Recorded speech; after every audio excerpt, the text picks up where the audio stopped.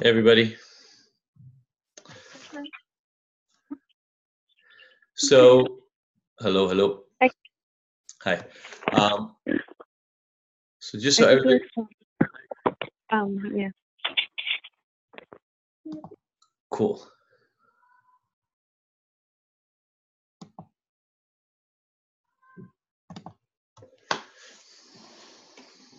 So do me a favor, um, if you guys can actually turn your videos off, and the reason is it'll cut it'll cut the bandwidth down. Um, my guess is we're gonna get pretty close to maxing out this room, so uh, I just want to make sure that we allow as many people in here as possible. And the more video we have, the the harder it's gonna be. Welcome. How's everybody's weekend going? Uh,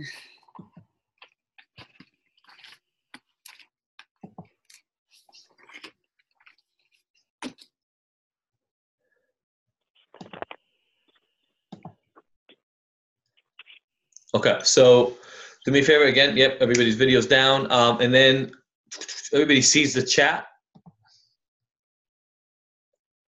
You just get to the chat window. There you go. Perfect. I have no problem. Um, you can you can ask me questions. Um, sorry. You can ask me questions in the chat or voice, but obviously we're gonna need to do this one person at a time. So, uh, so we'll kind of go there. I can share my screen if that becomes a problem.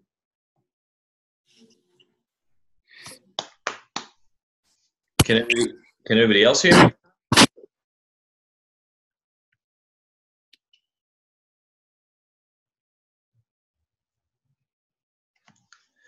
Can everybody hear me? Yeah. Yes. Okay, cool.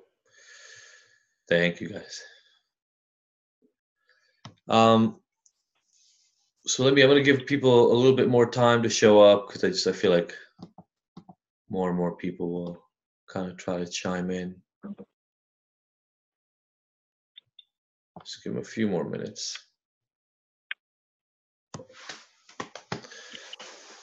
And then I have a clarification that I'm gonna send out um, by email to the whole class as well. There's a something about correlation that seems to be confusing, even confusing for the TA. So I understand why it's confusing to you. All right, I'm glad you can hear.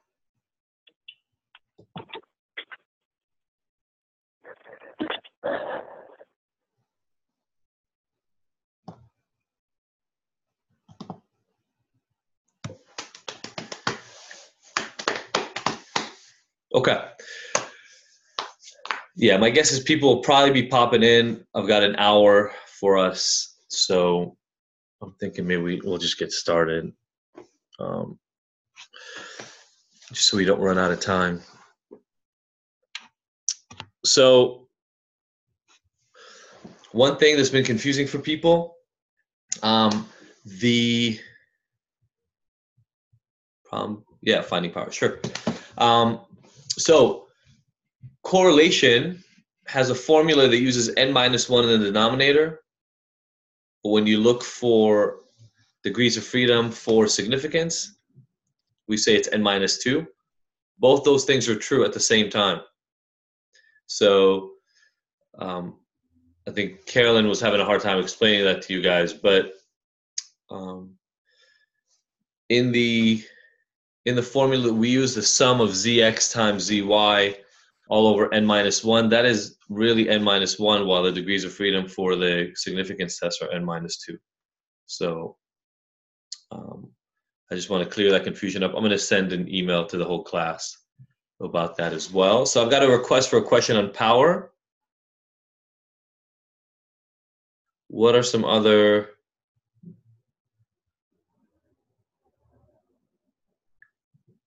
questions. Cohen's D, all right.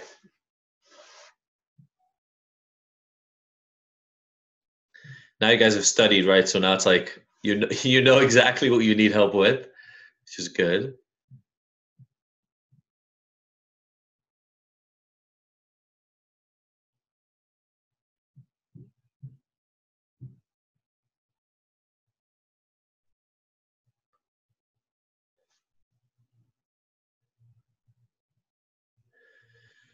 Uh, and then the question, yeah, so the n minus 1 and n minus 2, yes, n is the number of pairs.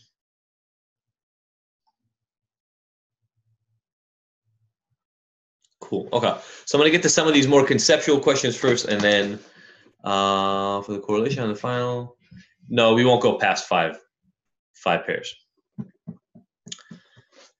Okay. So difference between treatments, levels, and occasions. Great question. Um, so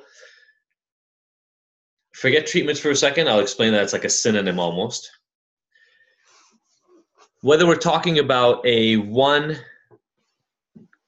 um, a one variable study, like a one way between subjects, or a factorial ANOVA, we we have an independent variable with levels, right? So let's say we're doing a medication study. There could be three levels: no medication or placebo, low dose, and high dose, right? Those would be the levels. Um, so levels is kind of the bigger term in one way between groups the idea is each one of those levels is experienced by a different set of people. That's why in one way between subjects it's called the between groups effect right? Because you've got three let's say levels but different groups of people experiencing those. If that makes sense to everybody just say yes. Just like tap that little thing for yes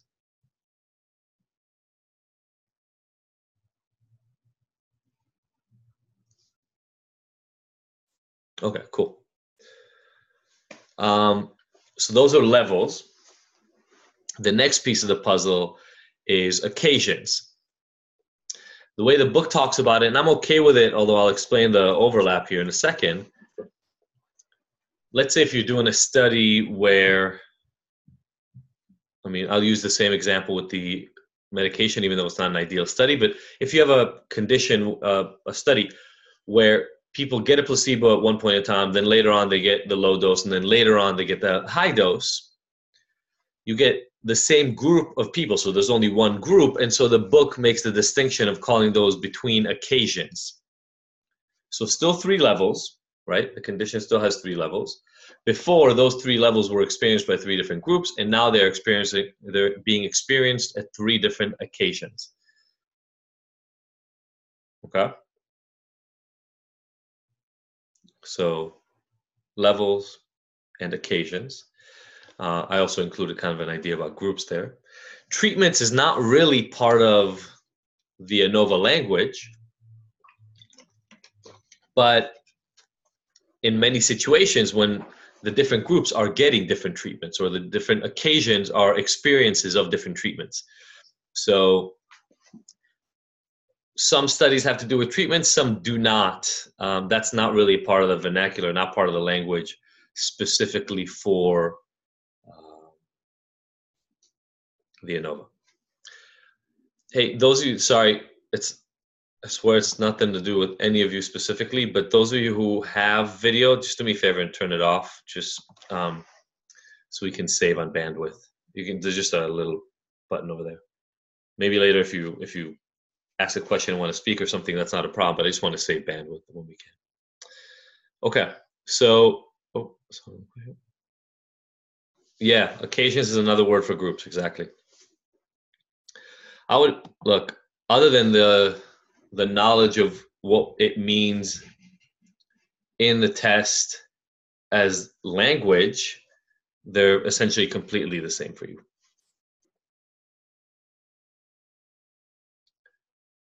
How to find the calculations for the interaction row in factorial chart. Um, okay. So you don't have to do calculations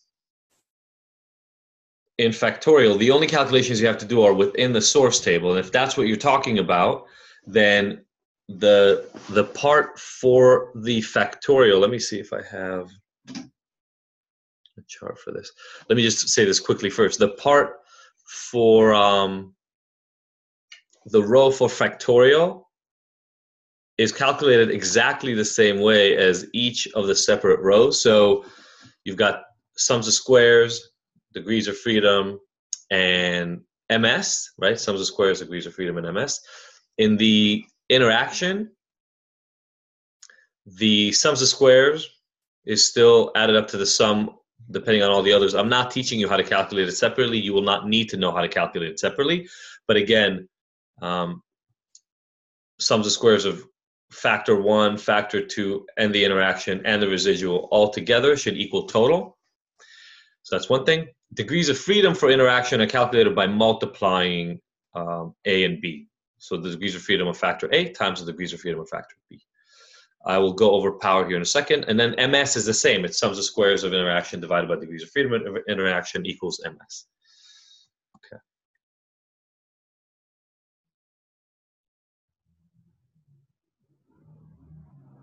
Okay, so power seems to be a pretty big question and makes sense since we've just done it.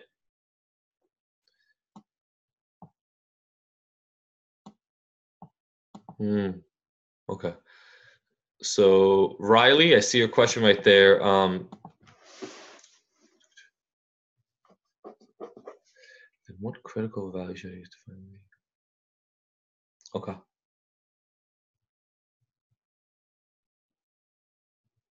Okay, so a lot of questions on power. Um, good, so that'll, that'll kind of direct us in terms of what to focus on.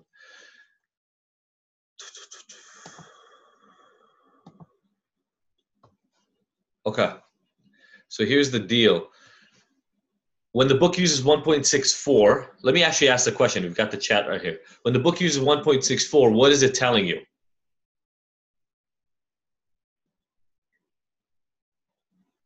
This has to do with a few of the questions you guys just asked.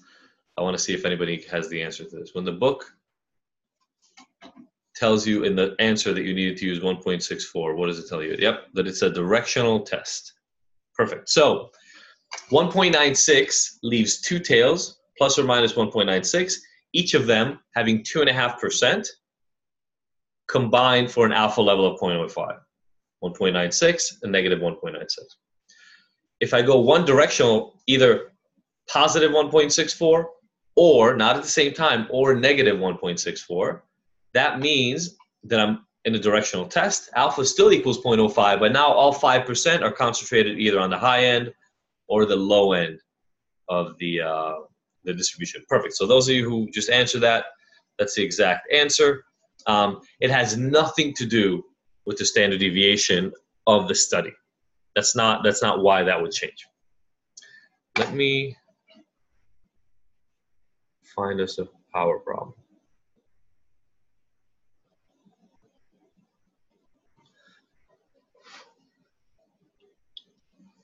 Okay, so I'm gonna experiment with something here.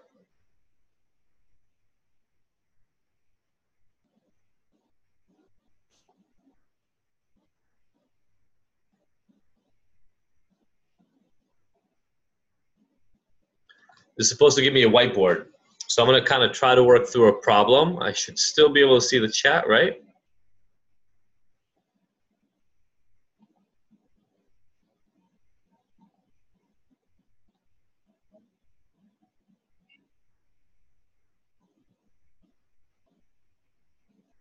Hmm.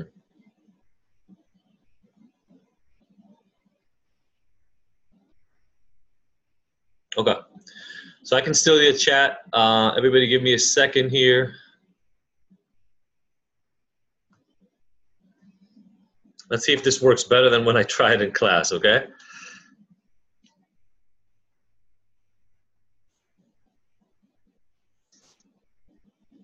Hold on, hold on. First of all, way better than it was in class. Cool. Um, okay, somebody asked what it would take to do a two-directional test. Uh, sorry, a one-directional test. Just like before, to do a one-directional test, even for power, I would have to tell you ahead of time that the researchers or the people studying this um, believe that the effect would go in one direction and that there's a lot of evidence in that direction. Um, so,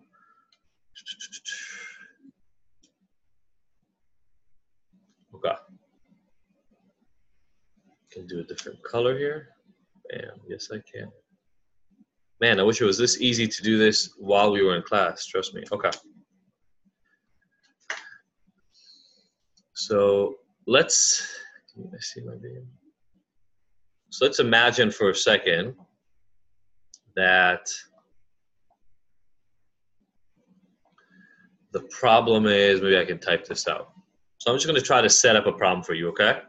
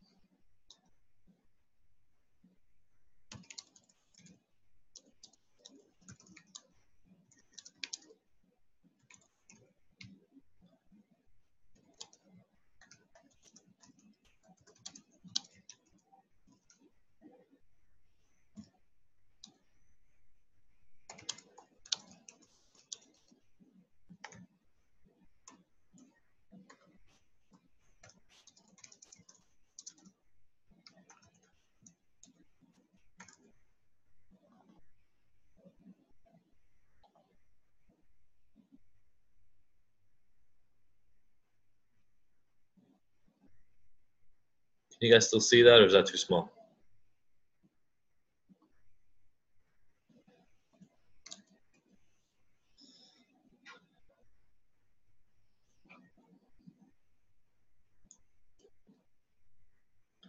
These old machines create 100 parts per hour and new machine.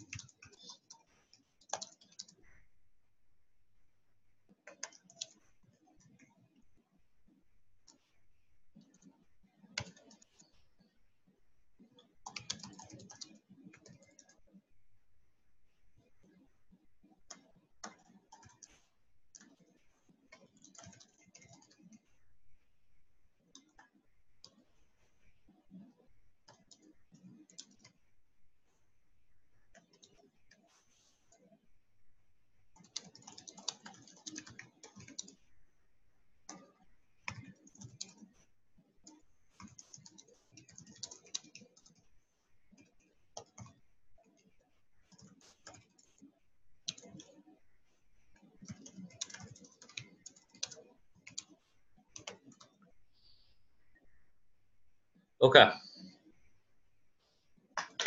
I didn't make this one easy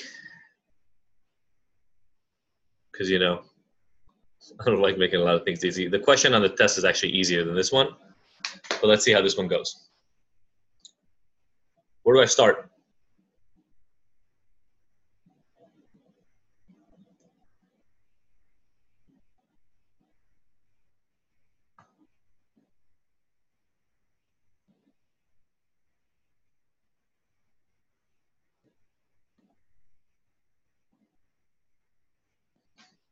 Okay. What are my variables?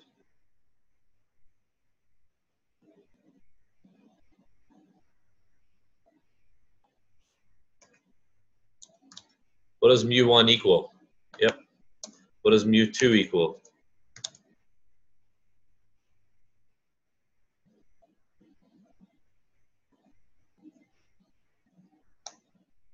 Bam. No, 110. Right, because it's supposed to be 10% faster. Old machine creates 100 parts per hour, 110. Perfect. What's the next thing I need?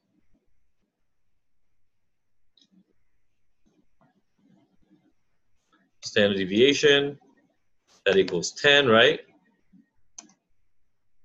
What else do I need?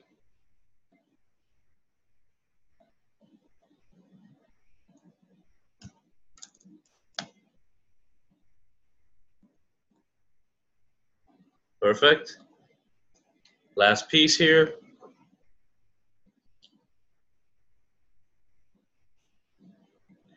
Standard, I'll just do SE for standard error, and that equals 10 divided by square root of 25, right? So 5.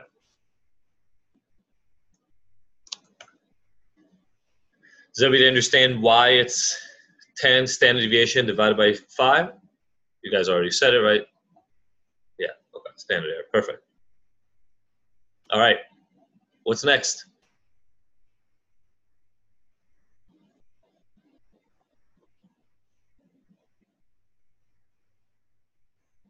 Find critical x. So x bar, we've got two means here, right? We've got one, we've got two. Man, I wish I could have done this the whole quarter in class. Um, okay, now here, just to put this so we know, this is mu1 equals 100. And this is going to be right here, mu2, which equals 110.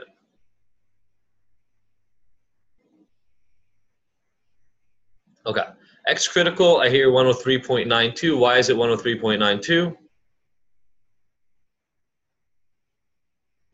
This is so not to scale, it's not even funny, but please stick with me.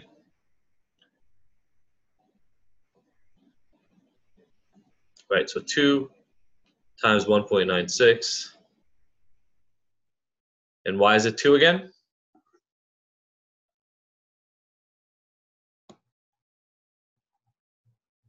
Perfect. So 1.96 times standard error equals 3.92. Sorry, I'm going to make all this smaller here.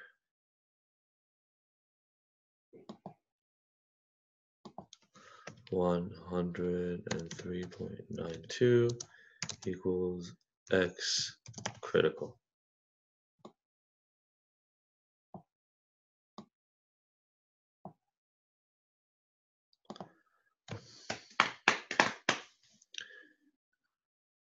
No, it's not a directional test, sorry. It's not a directional test because like I said, you need two things for a directional test. And I only gave you one, right? You want me to draw the second line here? You don't have to draw both lines. It's a directional test he is he believes it works faster than his old machines. There are two conditions for you to be running a directional test. A, he's got to believe it. B, there's got to be previous research or something like that that I got to tell you. I'm going to stick to that as as our guideline because otherwise it gets too complicated to try to figure it out. So both of those things together have to be there. Got it? Cool. So 1.96 times standard error is 3.92. 103.92 is the critical value. What's the next thing we got to do?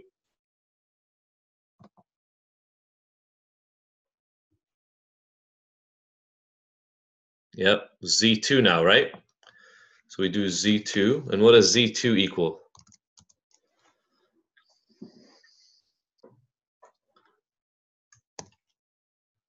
One hundred three point nine two minus one ten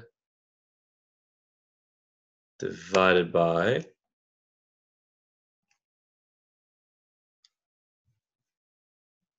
Oh, you got it already. Cool.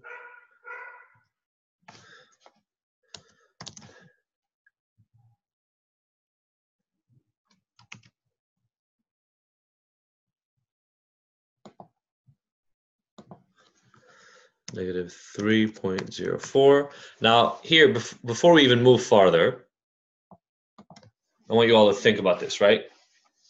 So we have 100 for group one and 110 for group two. Once you figure out standard error, I want you to think a little bit and you can see that they are five standard errors away from each other, right? Given the sample size. So first of all, right away, the two means are five standard errors away from one another. Is that a lot of power or not a lot of power? A lot of power, right? Good. if you remember the five elements that tell you whether you get more power or less power, the more distant the two means, the more power you have. Five standard errors is a big distance. Perfect. So now negative 3.04. And then somebody asked, how do we find the, exactly, um, bigger effect size? Perfect. So how do we find now from negative 3.04, how do we get to power? You got to look at the z table. And what you'll see is that it says, let's say, here, let me see.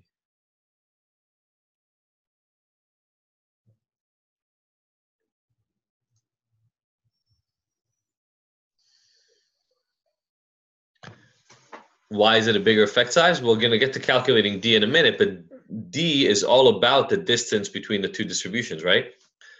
I'm saying five standard error distance is a big distance. Um, you can even calculate, by the way, even in terms of effect size, right? Cohen's D is mu one minus mu two divided by standard deviation. So the effect size here is one, which is even bigger than the 0.8 cutoff for a big effect size. So I'm going to look at this real quick here, Z table. So everybody should be looking at a Z table, negative 3.04. And there are a few different things that you can look at if you want to. I don't think you guys can see what I'm looking at right now. But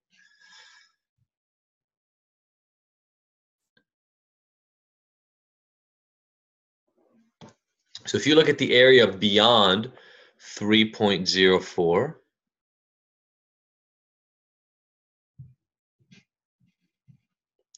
it is 0.0012. Let me get back to my board.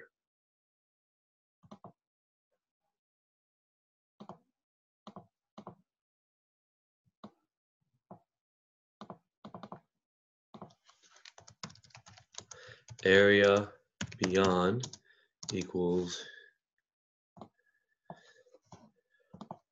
0.0012. That's a tiny part of the distribution, right? Now, if you think about it, nope, hold on.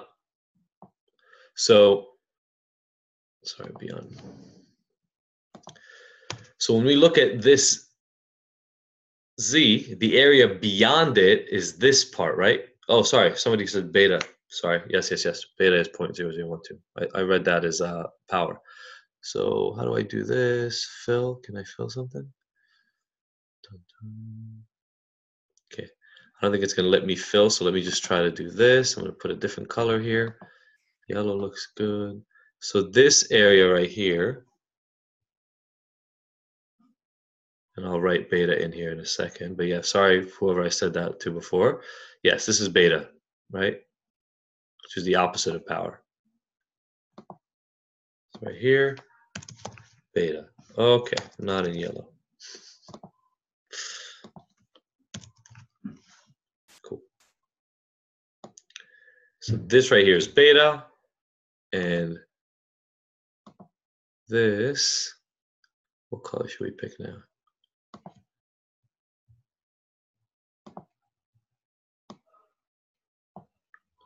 Come on, green. Okay. And this area right here is power. Now, the reason I always tell you to draw it, and you know, my drawing skills, especially on this computer, are incredible, um, is once you do that and you kind of look around and make sense of it, you can pretty easily tell that we should have a lot of power in this study. And indeed, I mean, I would say we have actually 99.9% power, right? So much bigger than even the 80 that we would require. That makes sense?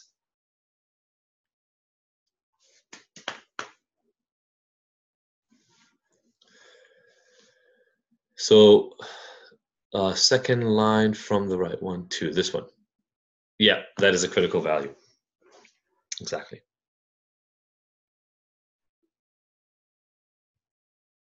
Um, if I said he he believed that um, it would work faster, and this is done based on a bunch of research, it's just then then it would be if those two requirements are in there at the same time. And the reason I'm doing that, guys, is not because this couldn't be a one directional, but on a test, unless I tell you if it's directional or non directional, I don't want any leeway. So, two things that I would have to tell you. He believes that it's uh, directional, that it would go one way, and uh, a lot of past work that he's done with this, or a lot of past evidence that he's looked at suggests that it would be that. Make sense?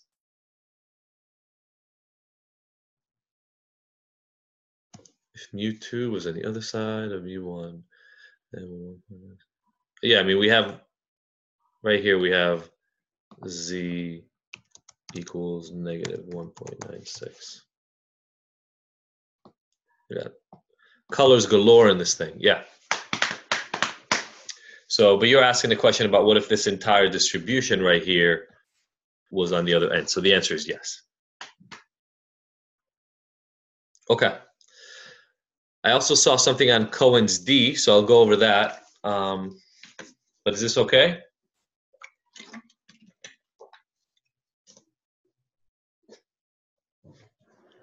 Yeah, because a machine could be slower, right? We so here's the here's the issue. This is and I get that this is why it's hard because we're creating all these made up scenarios, right? Um, I am telling you that the machine is at 110, but when he does it, he believes that it is. He doesn't know that it that it really is. So if think about it this way, if he did a one directional test, he would only be testing in. Let me draw this real quick. If he did a one directional test, he would on, he would only be testing in this region, right? Um, but if the machine didn't end up actually being faster, so we know because we're creating a problem on a test. But if his machine didn't end up being faster and it was actually slower, he wouldn't be able to tell. Right? This way, he will be able to tell if it's faster or slower. He wants it to be faster. He believes it's faster, but he would be able to test it. I don't know, maybe like his uh, the manufacturer maybe offers a recall if it's actually not faster. Uh, so yes, power is one minus 0.0012. Now, here's the issue. 0.0012 is the area beyond this z value of negative 3.04. Um, now here's the issue. So one thing you can look at is the area beyond. The next thing you can look at is the area is the area between the z and the mean and then add 50%. Hey, Daniel, I gave two, re- two things you would need to see in a problem in order to make it directional. So those would be the two things. What table do we look at to find power? So you don't you look at a z table. You have a z score. You look at the area beyond um, beyond that area. So essentially, it's like remember percentiles. This is the same thing as percentiles. You just find where that z is, and you find the relative area under the curve opposite of beta beyond the rejection zone. Okay, I'm going to clear this. Are we good to clear this? When you're looking at areas and you're trying to figure that out, look all the way back to percentiles and, and try to figure out if you understand that this area right here is power, then look back to percentiles and, and remember how to figure out what a size of an area is. Because that's exactly what we did when we did the percentiles and the region between. If you remember that silly um, rent or snowboard example we did in class and stuff like that. Uh, I heard Cohen's D, and I'll do that next. Anything else other than that?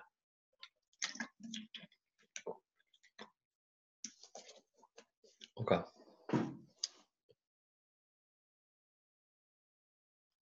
Q table, okay.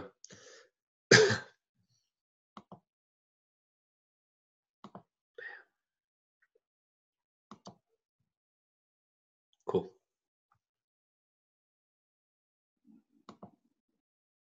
Okay. So let's just do this first. As we talked about, there's effect size, and then there's effect, okay, size index. Effect size index is Cohen's D.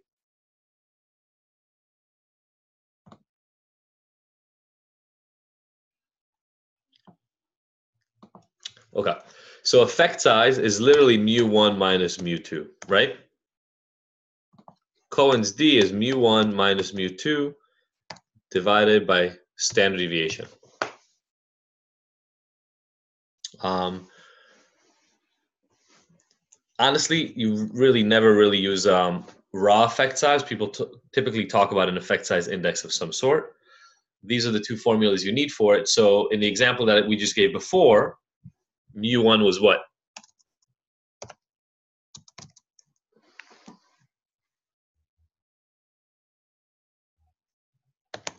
Perfect. Mu2 was 110. Standard deviation equal 10. Cohen's d would literally be uh, d equals 110 minus 100. It's actually the absolute value, but that's fine.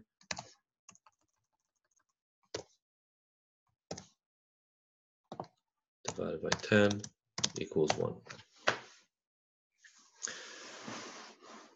So if you go back to the lecture on effect size, the reason we use standard deviation and not standard error is because standard error or significance calculations make us really, really sensitive to sample size. So you can make almost any difference on Earth significantly different from another group if you just use enough participants, right? That's the issue with power that we've talked about.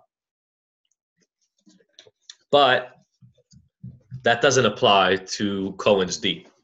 So Cohen's D doesn't measure statistical significance, it measure, measures something else. What is it called?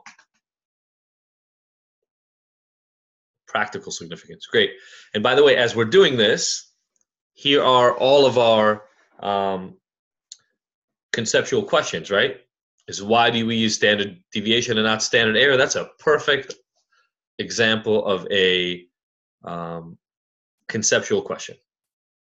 And it has to do with taking away the power of sample size for measuring difference. Practical significance, not statistical significance. Does that make sense? Anything else on effect size that is confusing that you want to go over?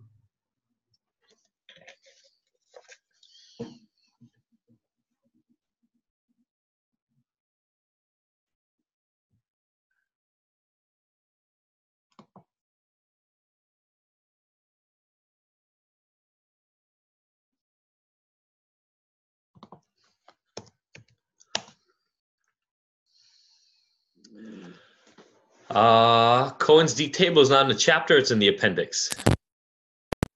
Oh, but wait, no, no, you don't. All you need for um for Cohen's D is not um. There's no table for it. There are three values you need to know: 0.2, 0.5, and 0.8 for small, medium, and large.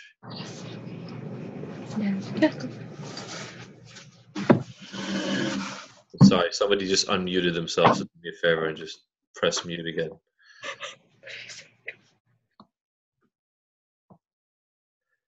This gets hectic with 30 some people in it.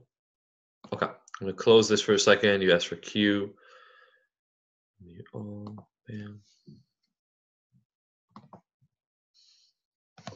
If somebody does have uh, a question you want to ask, let me know.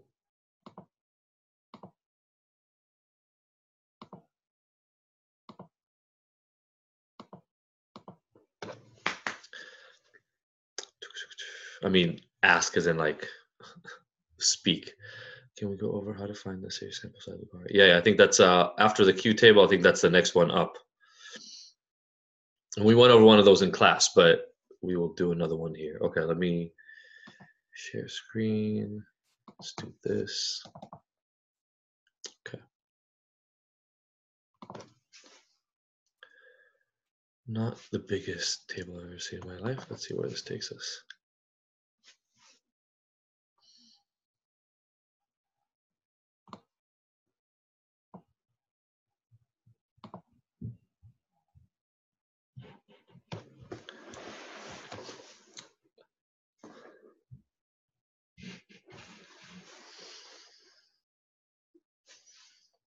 Mm-hmm.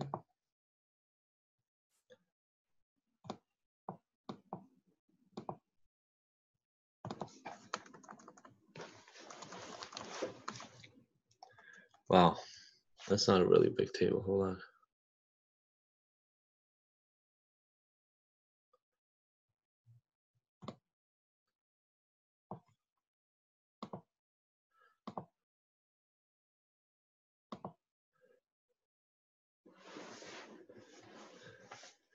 You can do either in ANOVA after rejecting the null hypothesis.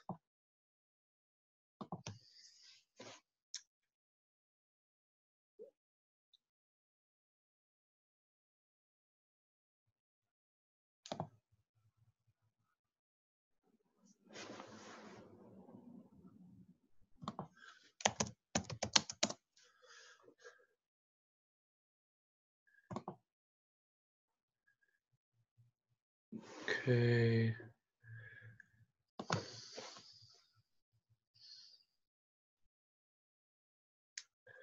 Wow. Not really finding a lot of high quality pictures here.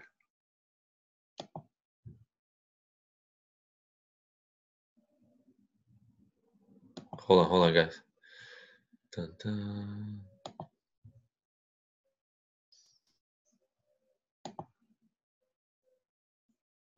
Okay, I'm just gonna look at this example real quick for us. So reading a Q table. Um, remember that the Q test itself looks exactly like a T test, right? So you get a, an observed Q instead of an observed T, but it's the same thing. It's one group minus another group divided by um, the standard deviation, standard error, sorry. So when we get the standard error for Q from MS within divided by n, you take the square root of the whole thing. But the, you know, so the test looks exactly the same, and you read this the same way. The difference you have to pay attention to is up here. I can't. Can you guys see this little finger like moving across this top row? I think you can, right? Yeah. Okay. So in this row, just remember and note. It's going to say it on the table, but just remember that um, it's k, not degrees of freedom. So it's literally the number of groups. So if in your ANOVA there are four groups, you don't use three here, you actually look at four. And degrees of freedom is your within groups degrees of freedom. So remember, if you're doing a Tukey, you've done an ANOVA before, or there is an explanation of how many groups there are and how many people in those groups, etc. This degrees of freedom right here is the within groups degrees of freedom. So let's say we have four groups, uh, each one of them has four people in it. Then you've got four right here, and uh, they each have four people in it, there's 16, but you lose a degree of freedom for each, so you get 12, and we are here, 4.20. So the critical value be 4.20.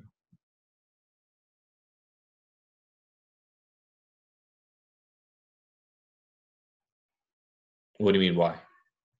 Because you have four groups and the US. Okay, so um, again, if we have four groups, right? And each one of them has four people in it.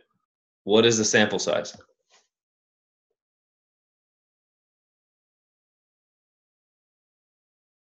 Okay. Now you lose one degree of freedom. Remember, ANOVA, MS within. So for degrees of freedom within, you lose one degree of freedom for each group. So you got 16 participants. You lose one degree of freedom for each group. What does that leave you with?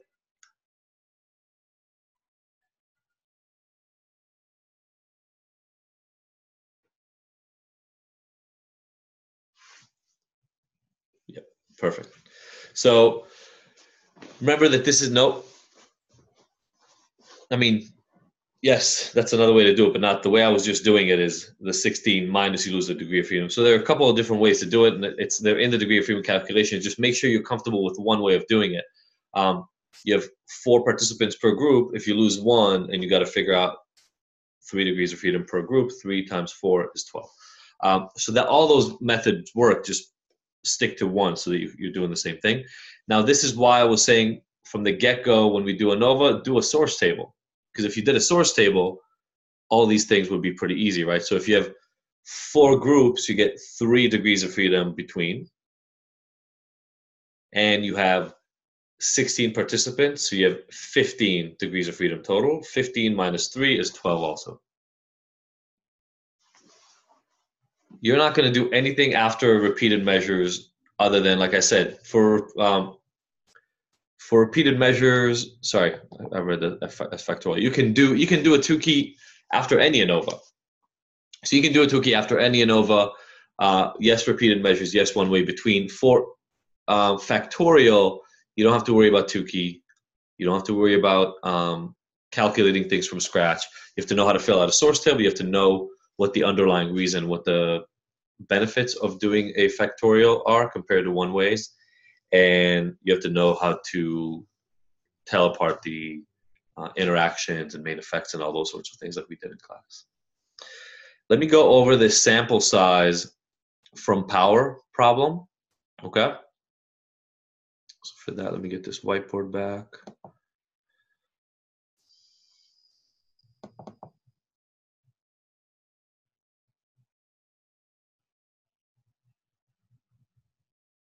So same thing.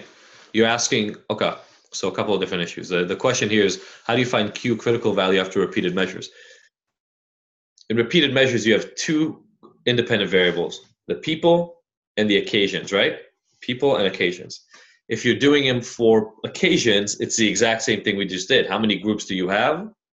And what's the within group degrees of freedom? Let me see if anybody knows. This is a really good conceptual question what would it be if I'm doing a Tukey test? First of all, what am I testing if I'm doing a Tukey test on the uh, between subjects? What is the Tukey test going to show me?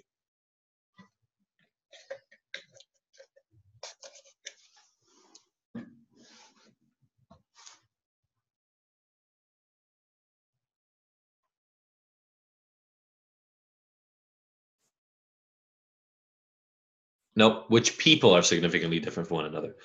If I do a Tukey on the between subjects effect, I'm looking at all the different people. So the Q value would be how many different people there are. You're never going to do that, though. Don't worry about it, but that's a really good conceptual question. Um, yes, the critical value is the same for all the groups. And somebody asked if there will all, only be two-tailed. No, I can't tell you if there will only be two-tailed. You got to know when to do one-tailed as well. Um, That's for the standard error. That's not the Q value. The Q, the Q value is the whole thing. The between occasions we use, yeah, perfect. Um, all right, let me get back to this drawing board. This actually kind of works well.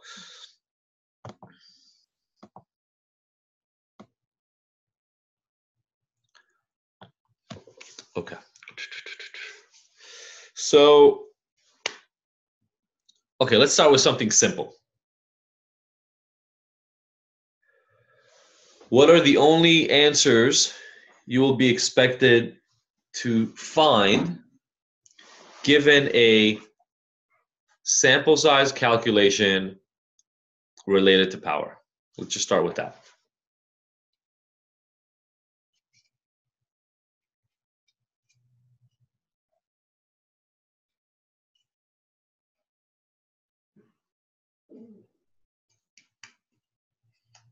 There are only three potential answers.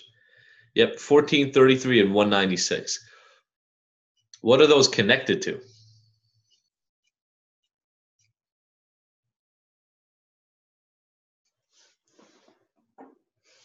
Yeah, Cohen's D. So let me, somebody literally just sent me this thing right here.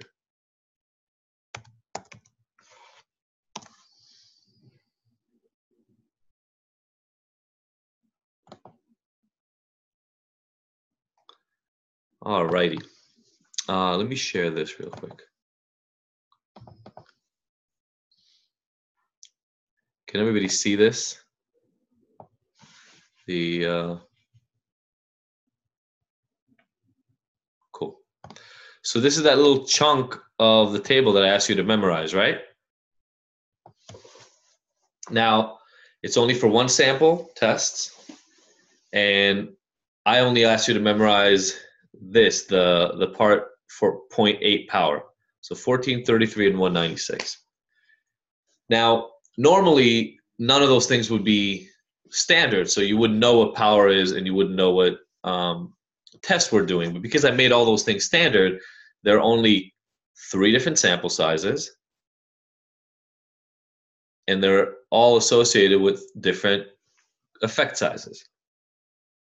So when you hear a question where in the end it asks you something about sample size, no matter how confusing the question gets, I need you to remember that I'm actually asking you about effect sizes. Because there are only three answers, and they the only way you know which one to choose is based on the effect size. So it doesn't matter how um, weirdly I word this question. Those are the things that you have. So now I'm going to go back to that question we had before. I don't have it drawn anymore, but you guys are following along, so I'm sure you remember because you're good like that.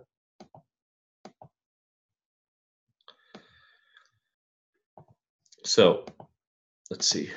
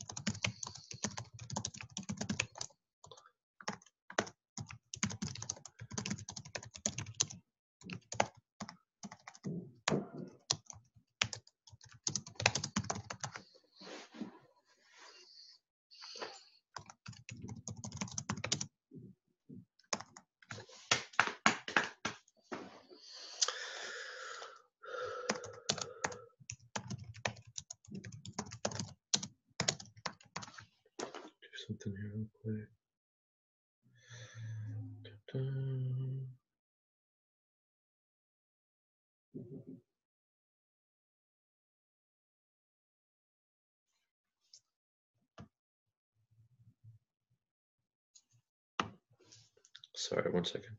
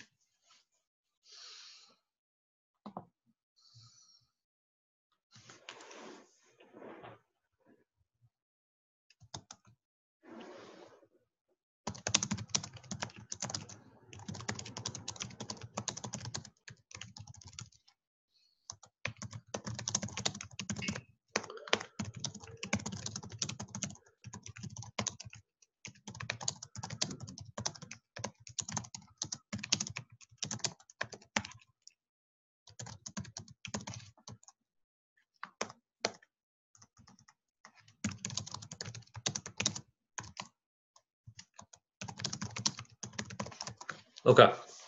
So a question might look something like this. A factory owner bought a machine that he believes makes parts 8% faster than his current machines, which produce 100 parts per hour. Standard deviation equals 10. If he wants to conduct a study that examines whether his new machine is significantly faster, how many parts will he need to produce to have a power of 80% for his study?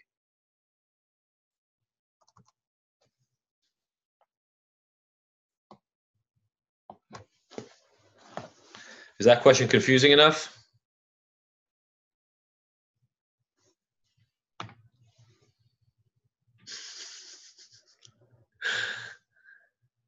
Yep, because the parts are the subjects in this. Yes, right? I mean, yeah. I- look, that's not a giveaway. I'm asking. So, subjects are whatever the things that we're producing. So, how many equals the sample size? Exactly. Perfect. But yes, some of you are confused by it. So again, what I'm asking is think about it this way. And this is why I'm kind of being as upfront about this as I can be if I'm asking you a question about how many parts will he need to, how many subjects will need to be studied, how many times will they have to run the study in order to do it, then you do what Darla just said, right? This question, even though it's asking you how many people or how many parts, how many the people in this case are parts, you just got to find the effect size. So what's Cohen's D in here? 0.8. So how many, what's the answer?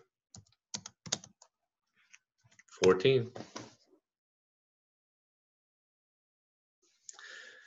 So this is a perfect case of, um, again, I'll remind you, you were all in algebra class at some point when questions went from you know x equals 5 y equals x plus 2 you know what is y and what is x and then you know some more complex versions of those for a while math looked like that and then one day somebody said joey has 5 cents and maria has you know sorry, Joey has X cents and Maria has two cents more than him, and they're going to the store and they want to buy some candy, and the candy costs, you know, seven cents a piece, and da, da, da, and they kind of walk you through this whole thing.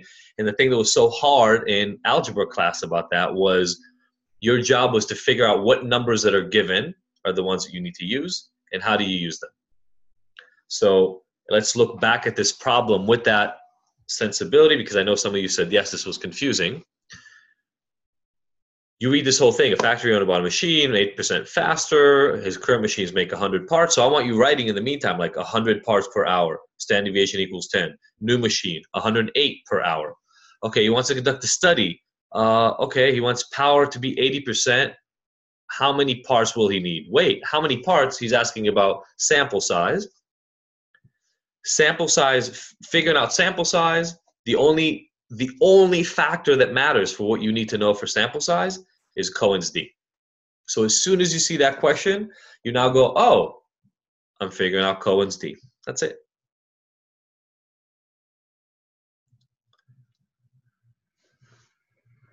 Okay, we've got uh like five minutes, so let's do like a few end ones really, really quickly. It's like a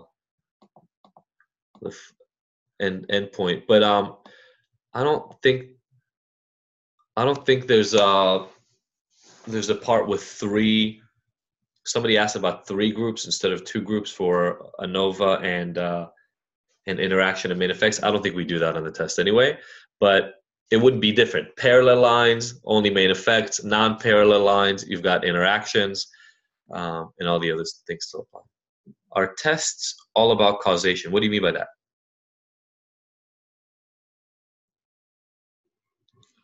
Lisa, what do you mean by our tests all about causation?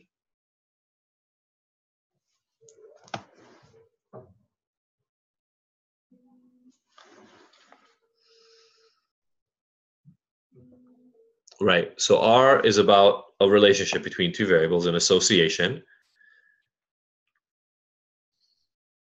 No. Yeah. It's never, correlations are never about causation, ever.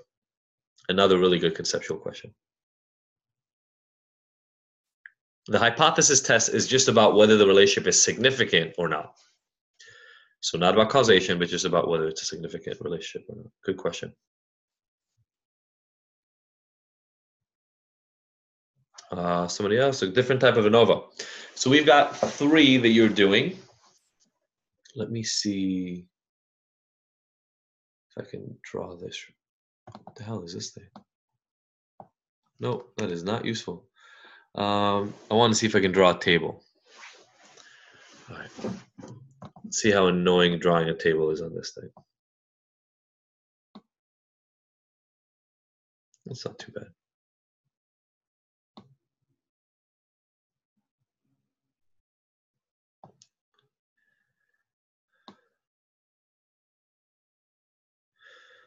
Unfortunately, there's not a faster way.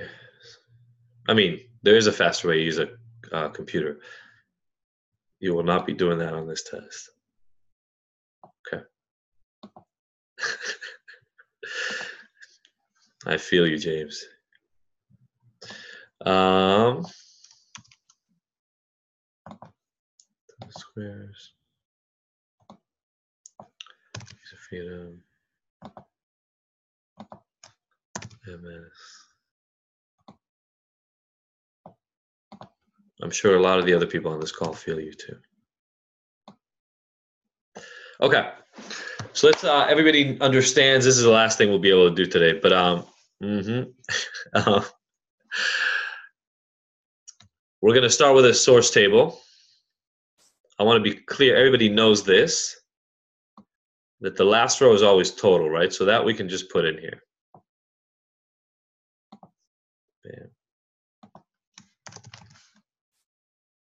Well, I kind of like how the colors are different from these things. Okay. Now, one way, so I'm going to explain these in, in sequence. One way between subjects adds this thing right here. Come on, you can do it. All right. What is the first row?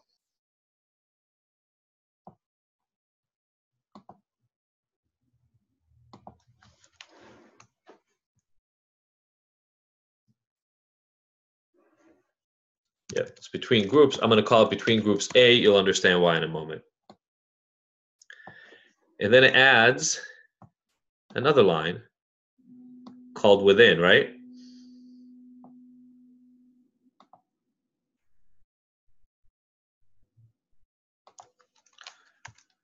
Within slash residual. Within residual, same damn thing. Okay. So that's one way between subjects ANOVA. Here it is, the whole thing. Bam. When you do repeated measures, it adds a line.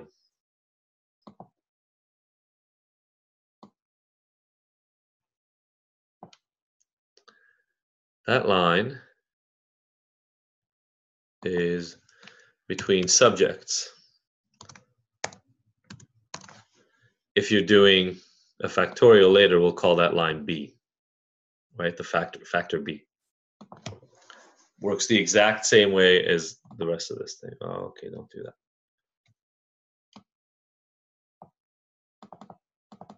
Oh my God. All right.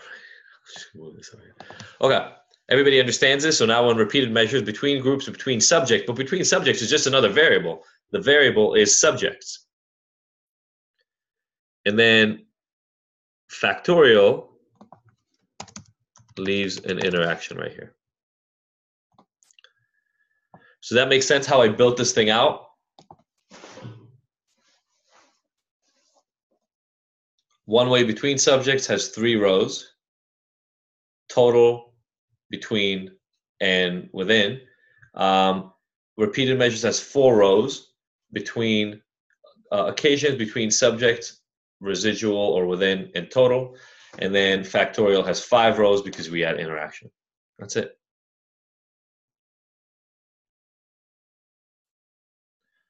All right, party people. Um, will we have to calculate source table from scratch? No. No. In all the in all the source tables you will get, there will be some things into it, and then um, and then some pieces of a word problem that will tell you kind of what we want you to do there. Uh, what else was there? Oh, and and like you saw in class, right? You can go from a table that only has two values in it and a whole word problem attached to it, and pretty quickly fill it in. And uh, for sums of squares, you will never have to do like total or residual sums of squares from scratch. But yes, you will probably have to do you will absolutely have to figure out what you know ANOVA to do, and you'll probably have to do some sums of squares from scratch. And that might be the between occasions, or between groups, or between subjects.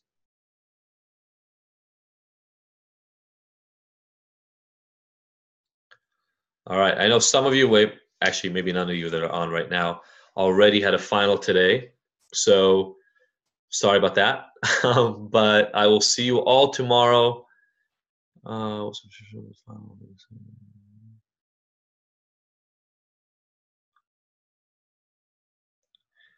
You're all so, so, so welcome. Um, feel free to still send questions or whatever, but I hope this was useful. This was nice. This is also recorded, I believe, so I'll try to post it if I can. Will that be useful if I post this? Okay.